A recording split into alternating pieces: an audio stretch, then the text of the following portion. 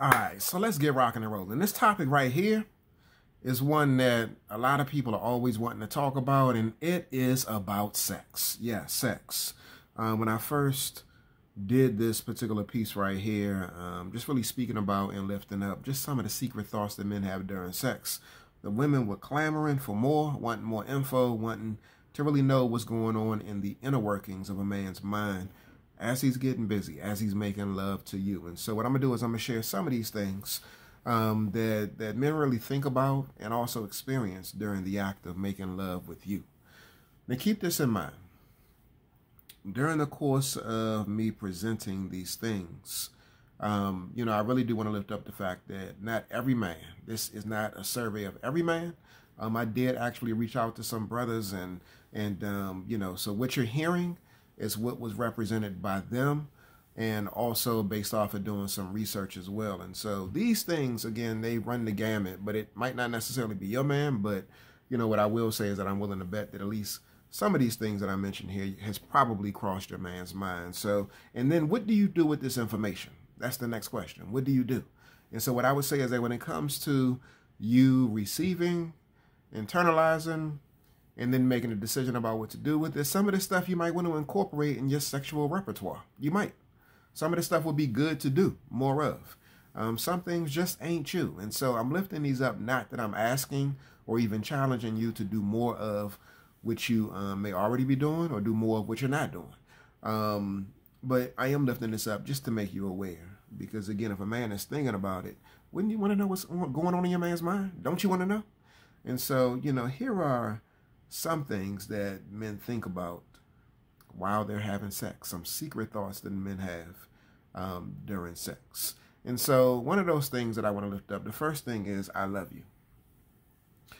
Men occasionally think about the fact that they love their woman. And it's not all the time. You know, I love you and feelings of um, I adore you and all of that type of stuff is not always present during the act of intimacy, as I'm sure it's not always for you. But men do think I love you. Uh, men sometimes are in a space where they're able to lean in a little bit more and really experience some element of emotional vulnerability and and embrace and really um, you know emit that love.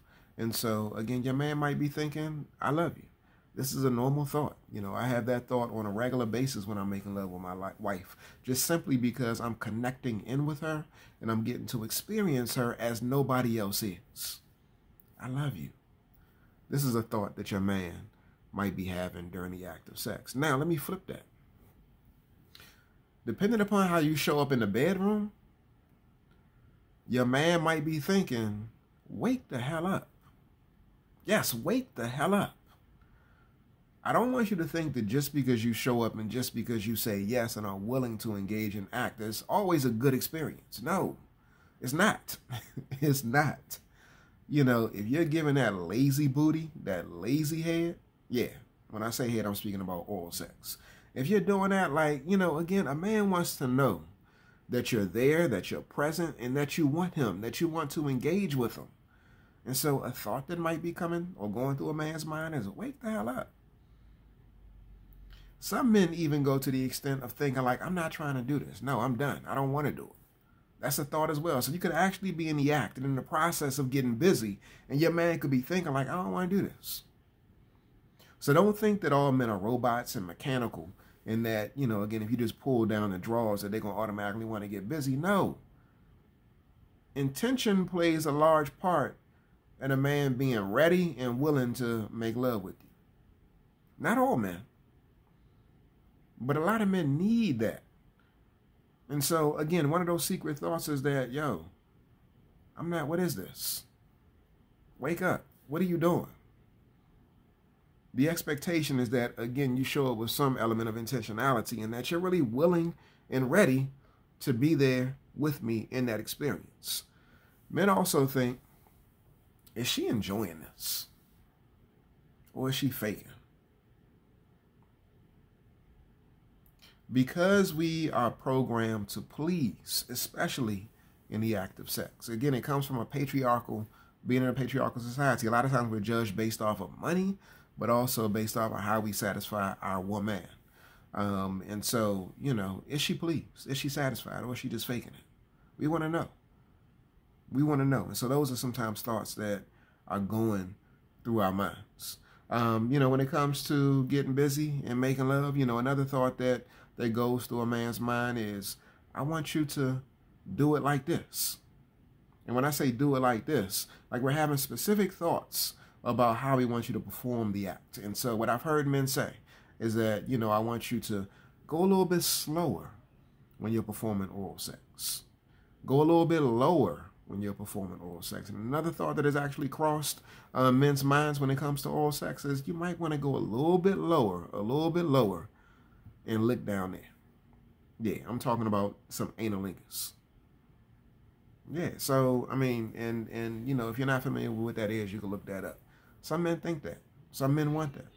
And some men express that this is what I'm looking for, you know, when it comes to when it comes to sex. Another thought that men have, y'all, is like, yo, when you show up in a bedroom and you're about to get busy, can you be mindful about what you got on? Can you please take that ugly, dumbass scarf off? Can you?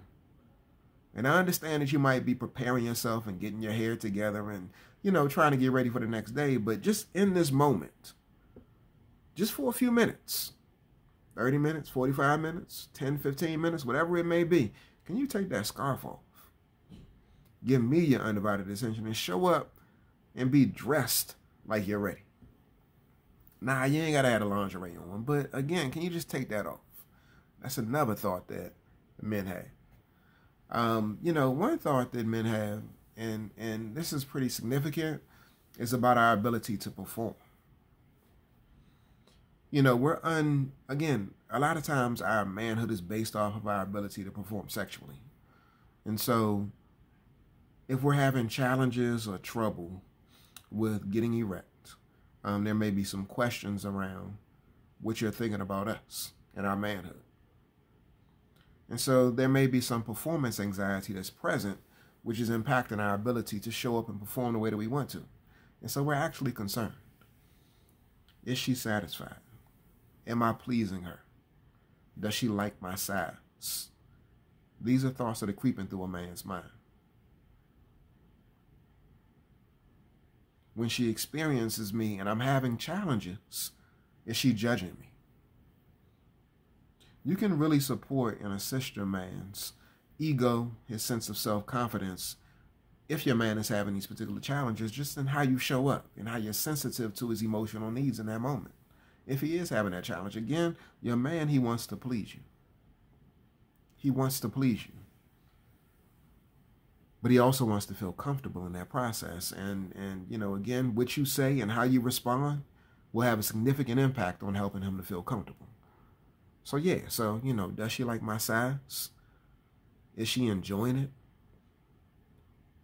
Is she being judgmental if I'm unable to perform? These are all thoughts that that men are having. Some men think about other women. That was probably one of the ones that y'all was wondering if I was going to mention first. Is he thinking about somebody else? Some men do. But what's interesting about that is when men think about other women, a lot of times it's not based off of them wanting to be in relationship, wanting to connect. It's purely sexual. They don't love them. They can be loving you and in love with you, but occasionally during the act of sex, fantasize about somebody else. And for some couples, they express what their fantasies are and they share and they role play. So yeah, so your man might be thinking about another woman. Your man might be thinking about a porn star. He might. He might. It don't mean that he's dissatisfied with you, but one way in which he feels as though he's able he's able to perform better is with these mental images in his mind. With this fantasy that's playing in his mind. The best relationships are the ones where you can get those fantasies out of the mind and express them to your partner. Your man is also thinking about like just his longevity. How long will I be able to last when I'm making love to my woman? You know, you hear jokes all the time about the one minute brother, the one minute man, the five minute man, and and I don't want to be him. And so sometimes brothers are counting. One, two, counting strokes. Three, four, five. They're doing that. Or they may adopt a particular rhythm where they start counting the rhythm and they start counting the pace. And a part of the reason why is because they're trying to prolong the experience. One, because they're trying to please you, but two, because sometimes they fear criticism if they end too quickly. And it could feel really, really, really good. But there's fear about ending quickly because they don't want to be judged. Sometimes my wife should actually say to me, like, don't take forever. Just hurry up. And so if you're in a relationship with a man that has a tendency to be a little bit more long-winded, um, has a tendency to take more time, then what I would say to you is that if that's an issue for you, express that. Express that, share it, and express and indicate what it is that you want and how you want it.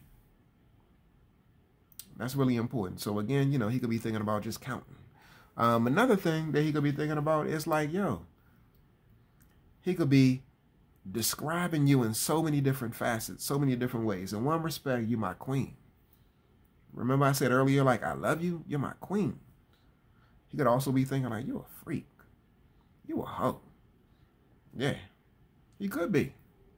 These are things that men think. And what's interesting is that depending upon how he describes or defines you in that moment, you may even notice the shift. You may notice a shift in how he shows up, how he performs, how he decides to approach from a certain angle, how quickly he starts to move, how his hips start to rotate. But yeah, he could be thinking about that type of stuff too. He also might be thinking like, you know, how do I look? how do I look in the process? How do I look during the experience? Is my face all contorted? Do I look dumb? For those people that like to do it in front of the mirror, some dudes be like, you know, straight up looking at themselves in the mirror, just trying to make sure that their stroke is on point. What am I looking like? Yeah, I know women sometimes are concerned about how they look. But yeah, men are too. Another thought, can she please arch her back? Can she just do that automatically? Yeah, I mean, arch the back. One other thought. Why is it that I got to initiate all the time? This is what men think. Like, you know, I got to initiate and I got to lead and then I got to lead during the experience. If I initiate, why can't you take the lead? I'm just curious. Why can't you take the lead? Do I need to hold your hand and instruct you throughout every single part of the process? Some men think, why can't you take over? Just take over. Just use me. Use me, baby. Just use me. This is what some men are thinking. Men also are thinking about the fact that, you know, I mentioned that sometimes we're vain. Sometimes we're focused on how we look during the process.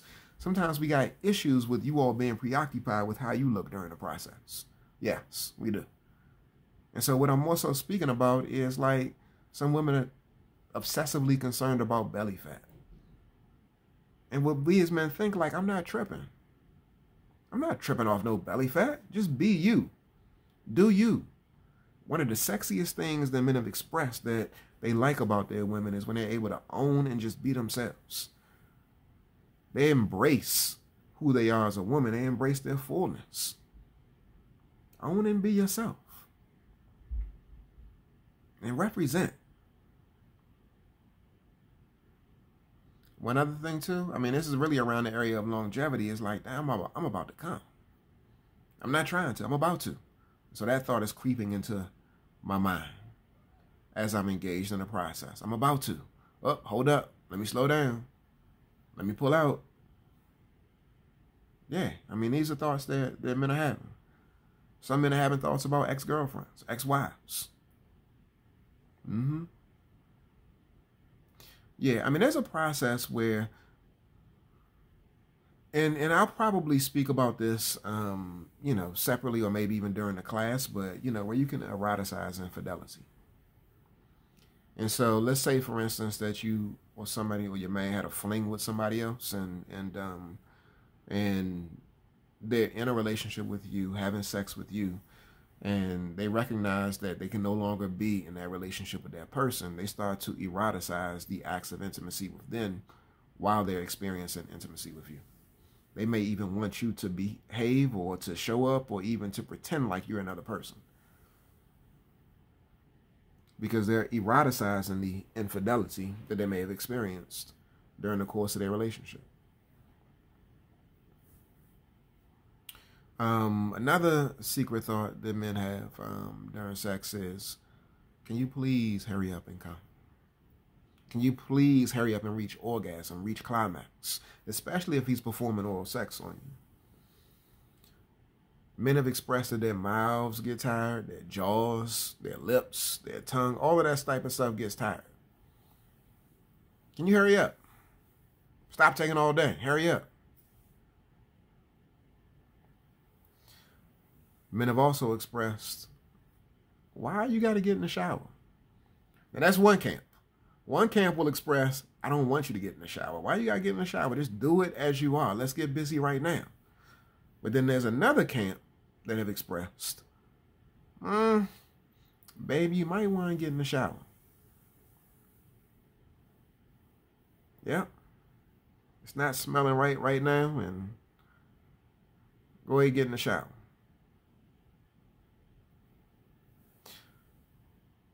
Depending upon your level of frequency when you're engaging in intimacy, um, men have also expressed like, and we haven't been doing it, and yet you're loose. Why?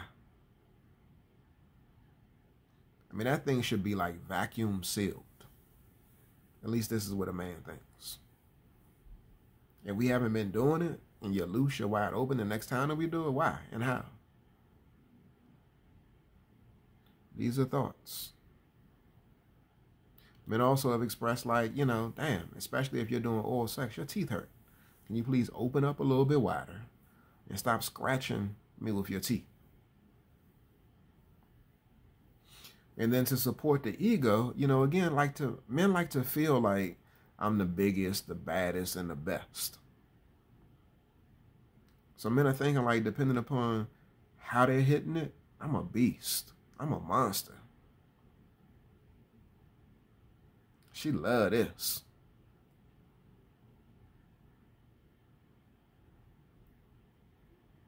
Men like to feel good. And men want to know that they're making that woman feel good. If you are um, in a relationship with your man and y'all are not having sex, y'all are not experiencing some intimacy, and y'all do eventually get to a place where y'all start to engage each other, just recognize that, you know, he may be having these thoughts that are creeping up in his mind during the time periods where y'all are doing it. He might. And just because he has these thoughts, it doesn't mean that he's not interested in you. It doesn't mean that he has issues with you. And it doesn't mean that that, you know, he don't love you. He can love you and be thinking about another woman. He can love you and still have some element or some type of criticism or critique about how you're performing. He can love you and and still see you or think that you a hoe, you a freak, you my slut, you my bitch, you my wife, you my queen. All of these thoughts can coexist. Again, during the act of intimacy, you have a whole range of hormones that are rushing to his body rushing through his body. And so it's important that you, again, make room for the fact that he's being influenced hormonally during the act. And that it's okay for him to experience a wide range of emotions and to have a wide range of thoughts. The best relationships are the ones where you're able to get those thoughts out of his head and express them to him or have him express them to you. In order for him to feel the most comfortable about expressing his thoughts with you, you got to create that safe space. You got to be open. You got to be open to hearing. You got to be open to receiving. And you got to be open to not judging. That's so critical and so key. You got to be open to not judging. when you open up that door, it doesn't mean that you have to be in agreement with everything that he's lifting up, every thought that he has, every desire that he has. No, you don't have to be in agreement with that. But to create create a safe space, it essentially means that I'm making room for you as a person. I'm willing to sit and I'm willing to listen. I'm willing to entertain. I'm willing to endeavor to understand because you mean that much to me. And then once he starts opening up and you start opening up, it'll take your sex game to a whole other level. Trust me, I know. I know. But it's really important that, again, you get those thoughts out of his head, out of his heart, and into your relationship so that you all can connect and share those thoughts with each other. Men may have secret thoughts. I know women have secret thoughts too. Some of the secret thoughts may be similar as to what men have. It won't benefit your relationship, again, if those secret thoughts just stay in your head. Be intentional about creating that safe space so that he can get those secret thoughts out of his head and into the relationship. He wants to feed you. He wants to nourish you. He wants to connect in with you. But he needs you to do the same for him.